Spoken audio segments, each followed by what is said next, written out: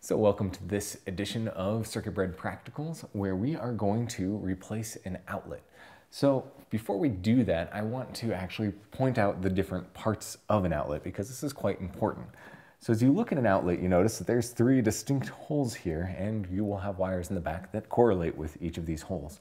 Now you have here on the left your neutral, you have here on your right your hot, and you have here on the bottom the ground. So as you know, your hot is where you're actually getting the energy, where it's driving everything, and then your neutral, if you're an electrical engineer, you can consider as your ground because it is making a circuit between your hot and your neutral. And then the ground here is just a safety connection so that if anything goes wrong and your hot, your neutral touches where it's not supposed to touch, it'll go to ground instead of electrifying the chassis or electrifying whatever you have plugged in. And then it'll also create a short circuit, hopefully, and that will cause the breaker to trip and you'll know that something's wrong instead of everything being terrible. So if you look on the back, you can actually see that for the neutral, you have these two connection points right here. The hot, you have these two connection points right here, and your ground is actually down here on the bottom. Now, obviously, I have already taken this out and I tested to make sure this is off. Before you touch anything, you can get something, I think this cost us $8 at Lowe's, and you can just put it in, and if everything goes well, you should get absolutely nothing. And that is how come I can touch these things without getting hurt. So you can either get one of these really cheap testers, a, a multimeter, as long as you make sure that you have it set for AC. You, I've heard some people complain that multimeters you can cause problems because if you don't have it set for AC, you can put it in and it's measuring DC and there's no DC voltage and you can shock yourself and that's a legitimate concern. So if you don't know what you're doing, you don't have the right tools, just call an electrician, but this is pretty straightforward. And if you take care of yourself and you make sure that everything's turned off at the breaker, you should be quite safe.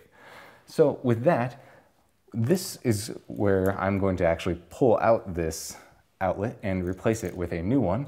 This is a tamper resistant outlet, which is absolutely terrible, but required by law, at least until the inspection is done. So we are going to take this one out and going to replace it with this one. Now, to do this, ideally, all you'll need is a simple tool like this, which you can swap it out and get your flathead, your Phillips, and even if you go to the other side, you can get this square bit, which is used quite a bit in your different um, electrical stuff.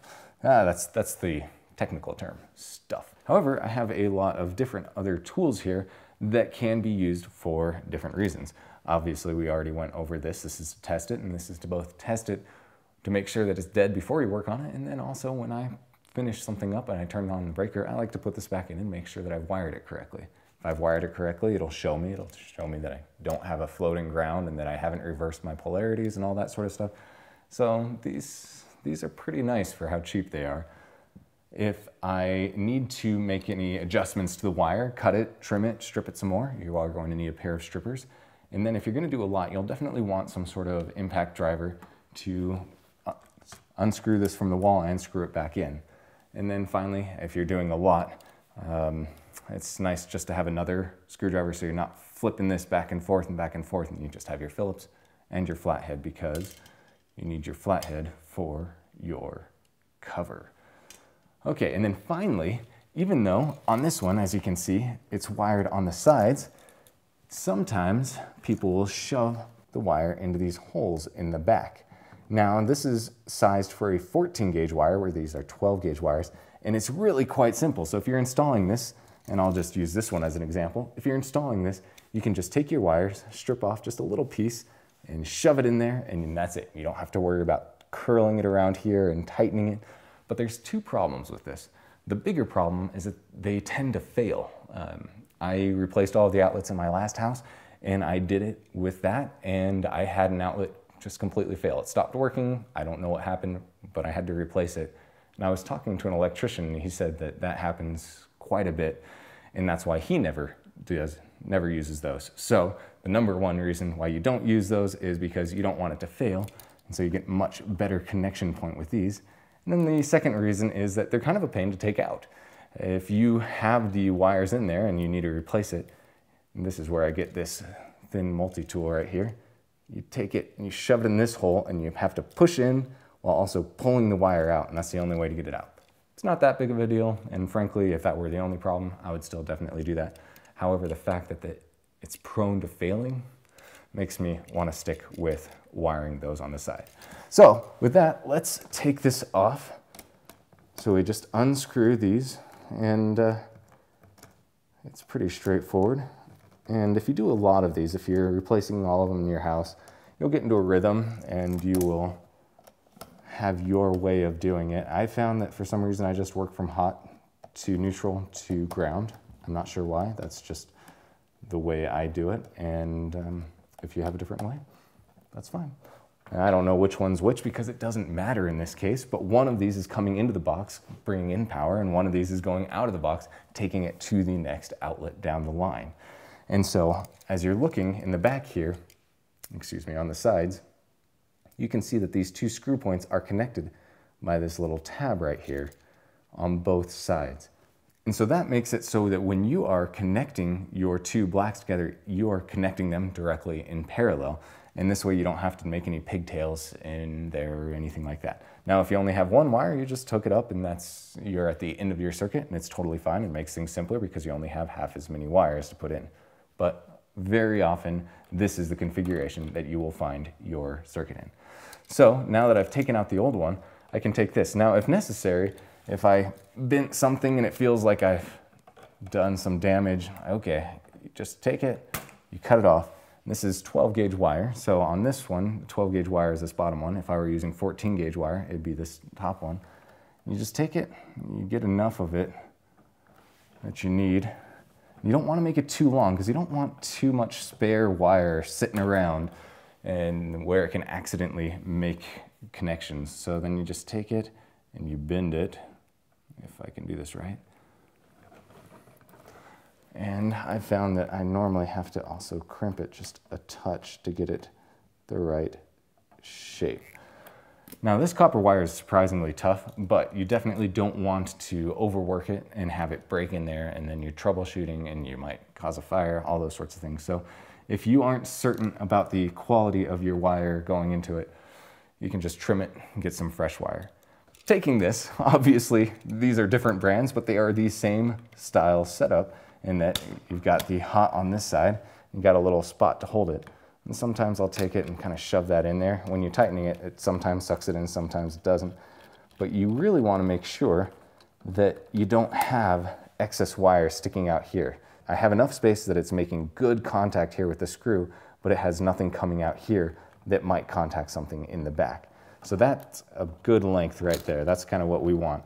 So let me put on the other one. And you see this one's a little bit longer, but it's still not sticking out. So I can tighten this down. And so now I have connected my two hot wires in parallel, and those are connected to these two outlets. I'll flip it over and get my neutrals in. And if you are going to be doing a lot of these, I recommend getting some sort of gloves because this really tears up your hands after a while and makes your hands not happy at all. But let's get these two neutral wires done. And as you can see, again, copper is pretty ductile, pretty flexible. So you can do some pretty interesting stuff to it and it won't have any problems. And then finally, got this safety ground. Now, I'm not sure if I was supposed to cover it or if somebody else, but we got a lot of overspray when they spray painted the walls. And so you might have to clean it. And if it doesn't look like you have a good contact spot, you can just either use a screwdriver or use this, even though I feel like that's a terrible use of a tool to just kind of scrape off any excess paint or any other things that are covering it up. But you just want to make sure that you're actually getting a good contact here. Now, again, if you're using this tester, if you don't have a good contact here, well, if you have no contact there, it'll notice that. But at the same time, I don't think that tester will do a very good job if you have kind of an intermittent contact or just not a great contact. So better to make sure visually that you're really getting in there.